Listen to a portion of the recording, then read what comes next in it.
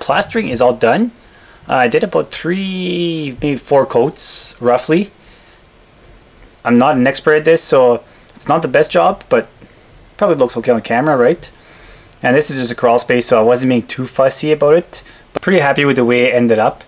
Uh, just did the final sanding coat a while back, and it's now ready for primer. And don't mind the crazy hair, it's been like crazy hot here lately, and that tends to make the hair go a little wild.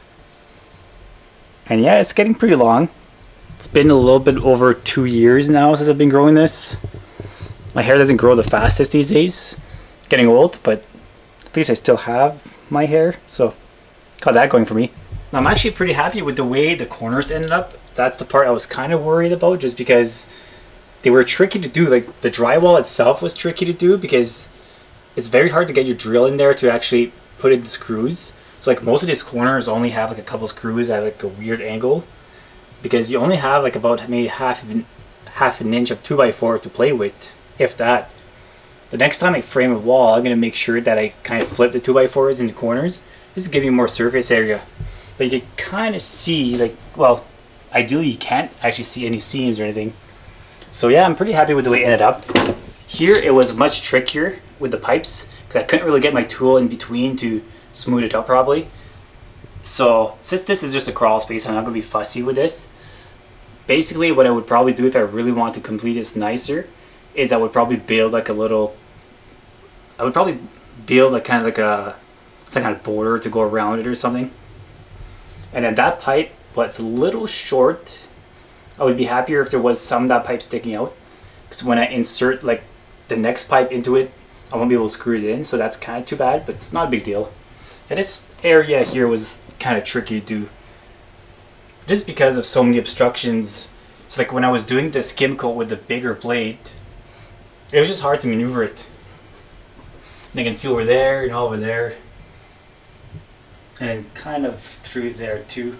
So overall I'm pretty happy with the job. It looks fine from the street. So yeah, so let's get started with the primer.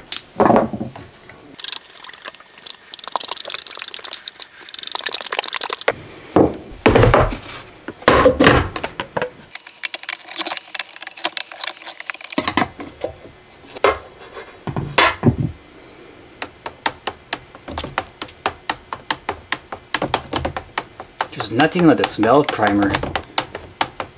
Ooh, actually that's kind of potent. It's actually the paint that smells good, the primer not so much. It smells more like cat pee.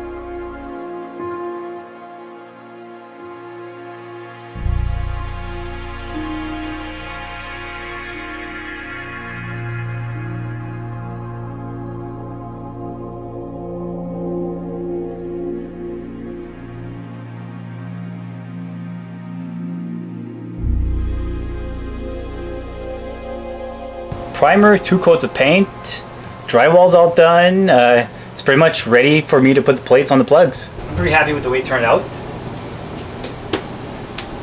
I could technically use like a nether coat. Like I'm seeing some spots that probably don't show up on camera, but I'm seeing some spots that you know, could use some touch up. But honestly, for crawl space, I'm pretty happy and gonna leave it the way it is. Even the way those pipes turned out, it's actually not bad. I mean, I can scrape some of that stuff off if I really wanted to, but I mean, I will have to if I want to connect anything to it. That top one is a little short. Hopefully when I put the coupling on there, I'll be okay. But yeah, other than that, I mean, th this was probably the most challenging area. And like, yeah, like I'm really happy. I mean, you can, I can't really see any of the seams, like where I taped. Like, I could see them a little bit, but honestly, like, I've seen professional jobs where you can kind of tell where the seams are. So, I mean, even pros are not 100% perfect. I mean, some of the lines you're seeing are also like shadows and stuff. So that it's kind of deceiving. Like, there's like like horizontal lines there. That's a shadow. So yeah, like I mean, I'm looking at it, and the imperfections I see are basically the same kind of imperfections you would see like on a normal wall. I mean, no wall is perfect. So yeah, I'm really happy with this, especially for like a do-it-yourself job. Like the corners ended up really well. Like, I mean, this was probably my first time taping. Like, I mean, I've done small patch jobs before, well, I did the fireplace as well last year. It's not my first time, but it was like it was my first time doing it all from scratch, basically. Like, I mean, literally behind there, it was just like cinder block.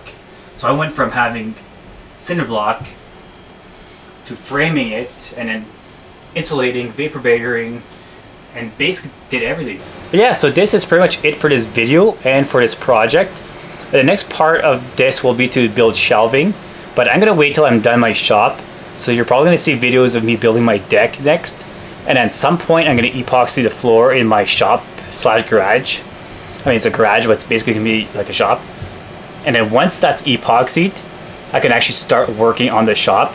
But before I even do the shop, I think I'll do the shelves for down here. I just need a place to build it because right now I don't really have a place. And I really don't like using power tools down here because of the servers. Like all the dust gets in. Speaking of dust, It's looking kind of bad. I don't know how well that shows on camera.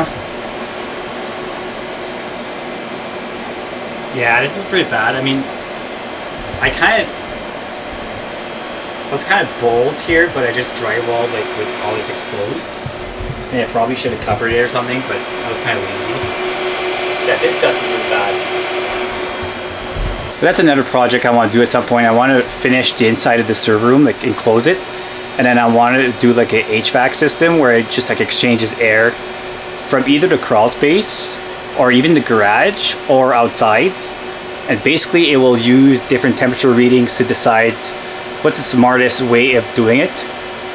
So like in winter I'm gonna want to use the garage air because I want to try to heat the garage at the same time. So like I'm gonna draw the temperature of this room. If it gets too cold then the furnace will kind of warm it up. And then this will kind of indirectly heat the garage without me having to install a heater in there. So it's kind of a I'm kind of gonna try to use the most efficient way of transferring the energy basically.